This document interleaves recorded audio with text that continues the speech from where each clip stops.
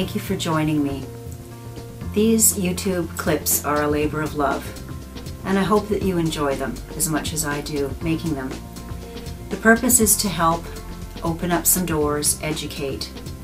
But if they don't resonate with you, let them go and move on to the next. I hope you will sit back, relax, and enjoy. Thanks for watching. Stephen asks, can you relive experiences or if you have specific regrets of feelings of remorse or sorrow, can you re-experience them as well?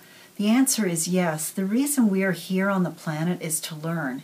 And if we didn't get it quite right the last time, you have the opportunity to do it again.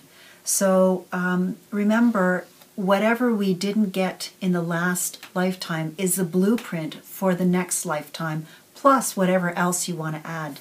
Because when you write your contract, it is exactly that it's a promise and a contract to achieve certain things.